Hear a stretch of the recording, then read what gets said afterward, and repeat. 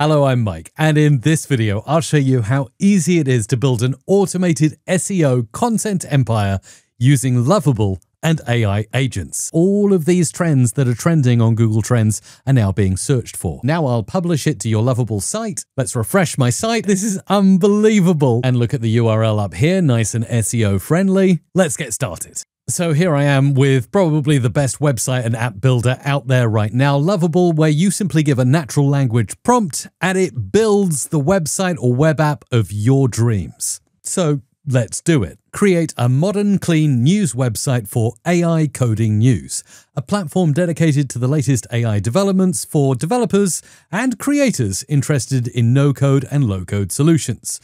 This should be a blog style site that gets new articles published to it regularly. And there it is, my initial prompt. You can follow along with this yourself. It's perfect if you're non technical because no code is needed whatsoever. And there you go, straight away, it's envisioning a modern, clean news platform. Now, the idea that's in your head is actually getting created using AI. And I just gave one prompt. Now, if we want to see behind the curtain, we can click this and we can watch all the code getting written. It looks very, very pretty, but we don't need to know what it does. Here it is, AI Code Daily. Doesn't it look incredible? Oh my goodness me, and it's given some featured sample stories here. But don't worry because we're going to use AI agents to get the latest trending information and things that people are searching for so we can publish this regularly on our site. If you like what you see so far, throw a like and subscribe. I do videos like this weekly. So we've got a website spun up and a basic outlook, and this has never been done before. This has been generated by AI. But now we need to get regular articles published on the site, and we need to store them in something called a database. But don't worry, it's not scary. Lovable will do all of this for us. So to do this, we connect Supabase. It's a database that Lovable supports brilliantly. Click it, it gives you a pop-up, and you can connect a project. Now, I've connected a couple of organizations already and set up my account, but if you haven't done so, you just click Create Project here. And if you haven't already done so, go to Supabase, which I'll link down below, and click Start Your Project, and then you just need to sign up with an email and password. With that done, you'll create an organization and manage your organizations here in Lovable. Click Add More Organizations to add in your organization and confirm everything is okay here and authorize Lovable. Then we can go ahead and connect a project, go to your organization and create a project. I'm just going to make it here on the free plan and we'll call it AI Coding News. Then we'll give it a password. We can auto generate this. We can select somewhere that's close to us and click Create New Project. You'll see over here, it connects my database to Lovable, and it even says up here, please connect my Supabase project AI Coding News. And essentially, you'll see that Lovable is working behind the scenes to connect your website to a database. And look at that, within seconds, we're connected. So now we've connected our website to our database, we'll do one more prompt to essentially create a table where we store every single story we post on AI Coding News. Okay, I'd like you to create a table that will store all the stories that we publish on AI Code daily. Don't show any story on the website unless it exists in that table. Really simple prompt, let's run it. Now you'll see it's writing a lot of scary data here. This is just an SQL command that you can click to apply, and when that's done over here, it should create a table which is listed under the table editor. So we'll go back to Lovable, click Apply Changes, and watch in real time over here as we get a table created. Let's refresh. Boom, now we've got a table called Stories with ID of the story, title, excerpt, content, category, author, and so on. This is perfect, and this is what we'd have done back in the day with WordPress, but now we're vibe coding it with natural language inside Lovable. And here's our website just refreshed, but this time we've got no example stories because we need to publish something in the database. And it's super easy. We can do a quick example. I can actually insert a row here and just populate it with some stuff. UUID, which is just a custom ID. We'll call this, this is a test. We'll put it in the no code category. We'll give my name as the author. Then we'll put all the publish times. This is really cool. Eventually, this will be a full article on how to create anything without writing a single line of code. Nice, and we'll leave the image URL blank for the moment, save it, and look, that's been added to my database. It's successfully created a row, and we'll go back to my website in Lovable and look, it instantly appears. This is a test by Mike Russell zero hours ago, one minute read. How cool is that? Now, just to double check, we can click the preview button here and open it in a new tab and look at our beautiful website. This is incredible. What would have taken us hours, days, and weeks in WordPress with lots of plugins now takes us just a couple of minutes with vibe coding inside Lovable. Click on this article, and boom, this is a test. We're now reading the full article. One thing I've noticed here is the URL is not very SEO friendly. It's a big ID string there, and ideally it should be the title of the article. So back to Lovable, we'll say, add a column for slug inside my database and make sure the article URL is represented by the slug and not the UUID. And we'll let that run and we'll let Lovable sort this out so we get nice SEO friendly URLs. You see, again, it wants to execute a command here that will update my database. I'll just click apply changes down here and let it do it all for me. Now you'll see it's actually doing that to make sure it all works. If we go over to the database and update it, refresh here, we'll see that we've got all of our usual fields. And then over here, yes, Slug with this is a test has actually been added in for us by Lovable. Let's open up a preview. Let's click through to our article and boom, now we have an SEO friendly URL up there. I absolutely love this. Okay, We've done that in moments. Now it's time to connect up an AI agent so we can publish on automation real time stories that are breaking and trending in the moment. Now I'll use Zapier agents to do this. Zapier is the most connected AI orchestration platform out there. And look, they even have a free forever plan that allows you to use 400 agent calls every single month, which is totally insane. So over here in Agents, I created a pod specifically for my AI coding news website and we'll add an agent. We'll create a new agent and you guessed it, in natural language, we'll tell the agent what we want it to do. Every morning at 8 a.m., I'd like you to search Google Trends for the terms AI coding and AI tools. Then I'd like you to do a Google search for the terms you get back Visit websites to learn about this term and then auto generate SEO content for an AI coding audience interested in no code and low code. Store this in an Airtable and then publish to my lovable news site. Okay, that's all we need initially. Click Create Agent. We can always refine the prompt as we go, but this should give us a great start. Okay, let's go through our Zapier agent step by step and add in the tools needed. First, here in the trigger, we'll make sure that is connected by selecting the time of day, which for me will be 8 a.m. So step one, we're searching Google Trends for the terms AI coding and AI tools. Now we're going to use a tool called SERP API for this, which actually has an integration with Google Trends right here.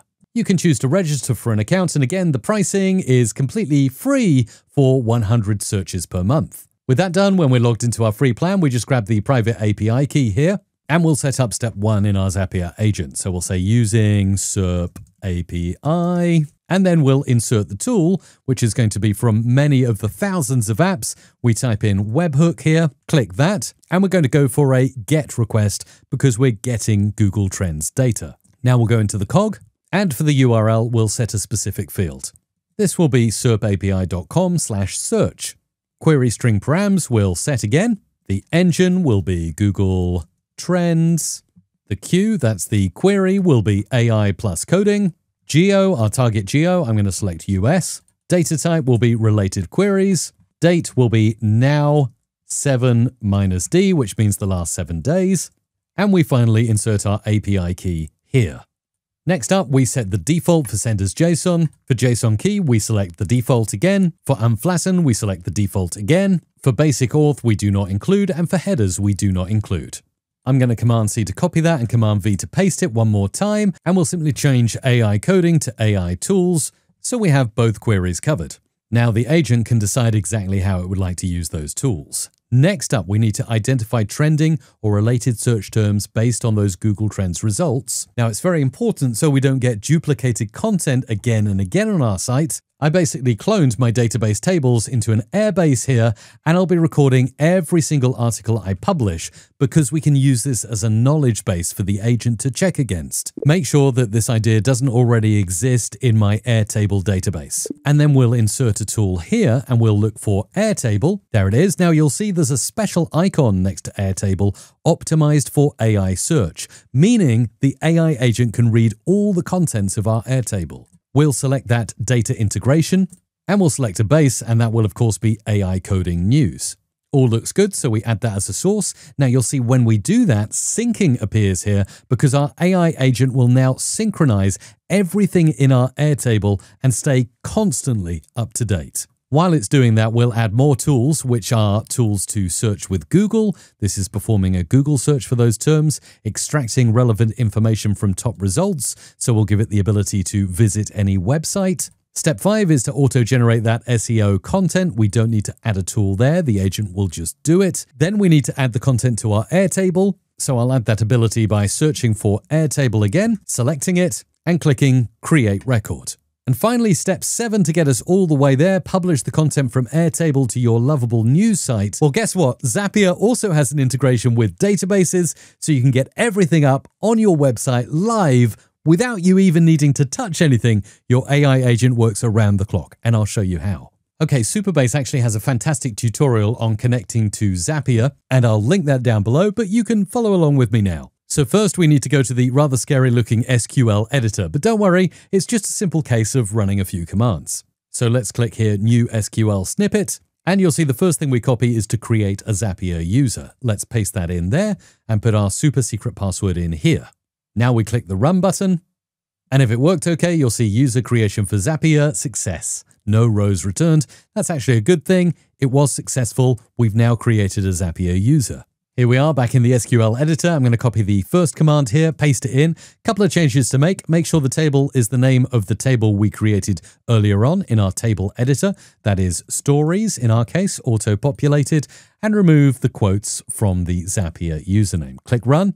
Boom! Success! We've now granted the ability for Zapier to write to our stories table. Finally, we run this command. We'll open a new tab, paste it in. Zapier can read from stories table.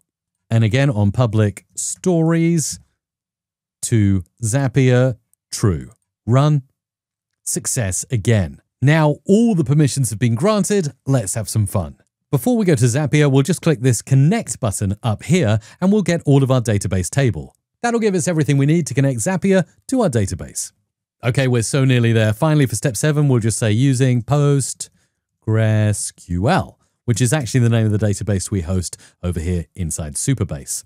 So finally, we'll insert a tool and we'll go to the very bottom, add a new tool, and we'll look for Postgre, and it should come up. There it is. And we'll be creating new rows here. Now we need to connect our database. Okay, this is really simple. We just grab that URL we copied earlier, grab everything after the at symbol before the colon. That's the host. Port 5432 is exactly what it should be. Then for the database, that's going to be Postgres. It's going to be public. Username, that will be Zapier that we created earlier, plus the long string from our URL there. And then the password, that's our super secure password. Finally, under database settings, we'll need to go to the SSL configuration, download the certificate, and paste the contents in here at SSLCA bundle to make sure we can connect securely. And look at that, we are connected. Now we can choose a table, and of course we can set a specific field and choose from our database, and you'll see it loads up the stories table. So now we know it's always working with that, but we can leave everything else such as author, category, content. In fact, everything else is decided by our AI agent. How cool is that? We'll just click save here, and now it genuinely looks like everything is ready to go. Let's test our AI agent for the first time and see if it can publish on automation to our AI coding news blog. And to do this, I'll just click test agent over here and let it run away so we can actually see in real time how the agent will run on automation every day at 8 in the morning. And first of all, it's preparing to get the information from SERP API. Now you'll see all along the way in test mode, it wants me to approve. So I'm doing that. And you can see a tick here. It has actually got the trends all retrieved from Google Trends. We can see lots of different AI things coming in here. And now it's already deciding to analyze the data sources it's found. And look at this, all of the trends here OpenAI, AI app, all of these trends that are trending on Google Trends are now being searched for. It's specifically important that it's looking at our present Airtable to see if any of this stuff has been covered. And now you'll see immediately it's got to work and it's searching Google. It's completed that search and it's found all of these great things about the Oakley AI smart glasses. It's thinking about what to do next. And now you'll see here it's actually visiting a website all about those glasses. Now you can see it already wants to add this to my Airtable, which is great, so I'll approve. And you'll see over here it's just created a record for the Oakley Meta AI glasses. That's great. And now it's going to my Postgres database, which is hosted here. We set this up with Lovable, and it's going to add that as a row. You see it says over here, now I'll publish it to your Lovable site, and it's asking for approval. It's now creating that row in my database, and we can actually go over and see this in real time happen over here. And look at this, we've got Oakley Meta AI glasses inserted into our table. And over here in our AI agent, we've got a tick here. It has inserted this story all here. This is amazing. And it even says, success, today's trending AI news story about Oakley Meta AI glasses is now published on your lovable news site. Wow, that's amazing. Let's take a look and see how it came out. Let's refresh my site and look, yes, we've got a new article here. This is unbelievable. Meta and Oakley have launched the Oakley Meta HSTN AI glasses. Wow, that is so, so crazy. And look at the URL up here, nice and SEO friendly.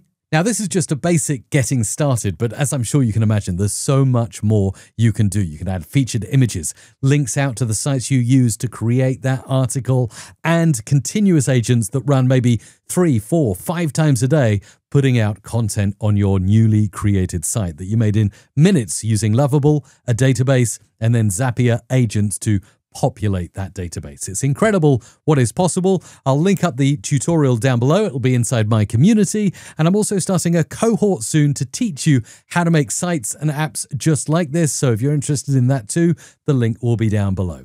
Thank you so much for watching this video. And YouTube is showing a video on your screen right now. You should watch next. Thanks.